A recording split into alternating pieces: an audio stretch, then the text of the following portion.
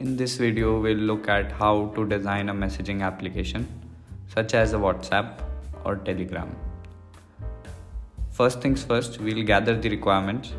So, as we know that on a messaging application, you can talk to a single person or to a group. So, are we designing it only for one on one chats or group chats as well? And do we need to send text messages only or we would be sending images videos audios and everything. Are we looking at this problem from front end side as well or only back end would suffice? So for the sake of simplicity let's focus on one on one messaging as of now and assume our application sends text messages only and design at backend level would suffice. Because including front end would make this problem very big. So for now we'll only design at backend next let's talk numbers. So how many users are using our application? Another good question to ask would be how many messages are we expecting in a day? And what's the size of one text message? Let's assume 1 lakh users are using our application. Each user sends 50 messages a day which makes the total messages to be 50 lakh messages which is nothing but 5 million messages so if we assume that each message takes 8 kb so 5 million into 8 kb that would come out to be 40 gbs of data per day. Let's look at non-functional requirements next. So if a user is using our application and it shows that our application is down due to maintenance then this is not a good customer feedback.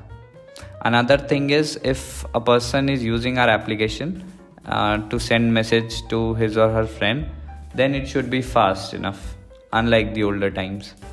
So from the previous slide we are able to identify that our application needs to be up 24 into 7 which is another name of saying the application is highly available.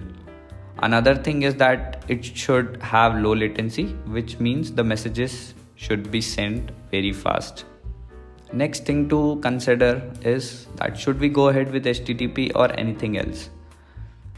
So I've written two APIs here, one to send a message and one to receive a message.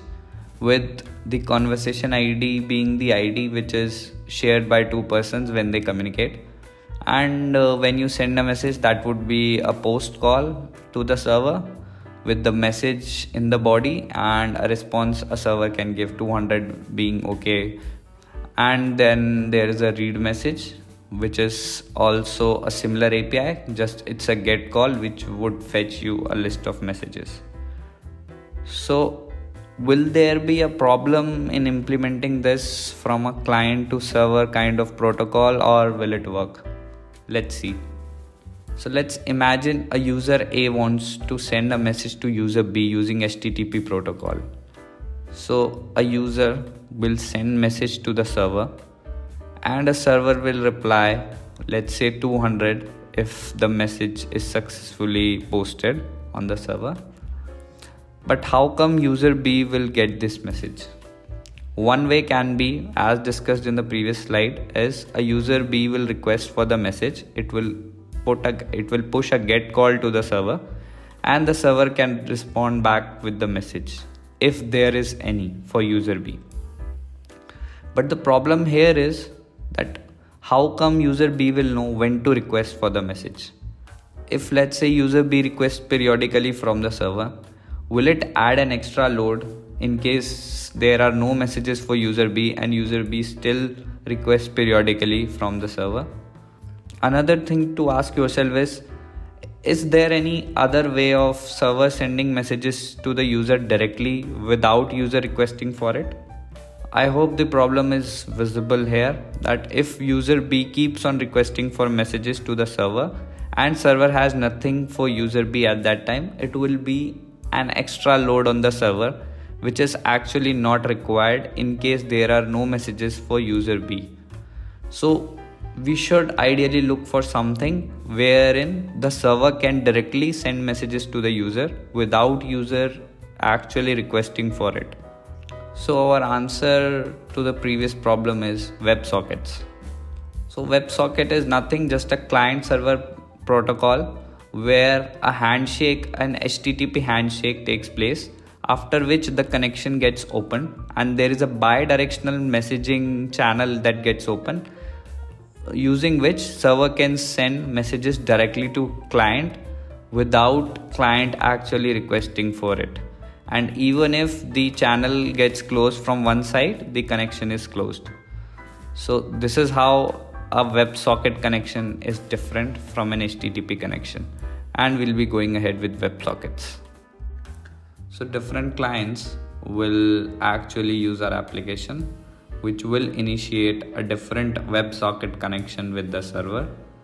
So of course if there are many users that are onboarded to our application with increasing load every day then our servers should be horizontally scalable which means that there we should be able to add more number of servers now here comes a problem if let's say there is an open connection of user 1 with server n and a message comes to user 1 from user 2 which is received by server n plus 1 so for that purpose we would have to have a service which will return our socket server id for some user. Because if there is already an open connection with some other server then we should ideally use that connection and not create a new one so for that there will be a user mapping service which will return socket server id for an already open connection. The other thing is that uh, there should be a db to store the messages and other information. And uh, I have decided to go ahead with a NoSQL DB because of the data that we saw earlier. And the major part of data would look something like this with a conversation ID, message ID, a timestamp and the actual message.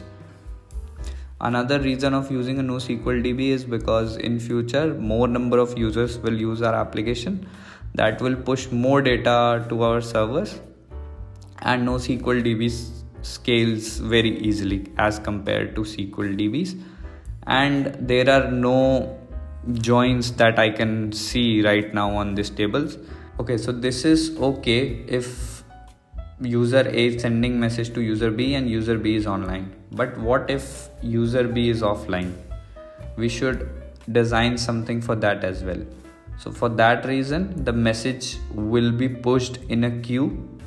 From that queue, a notification service will use the external phone manufacturer's notification server to push notification directly to their phones using their manufacturer's servers. So some of the examples are in Apple there is called something as Apple push notification service. In Android it is Firebase cloud messaging and there are similar in others.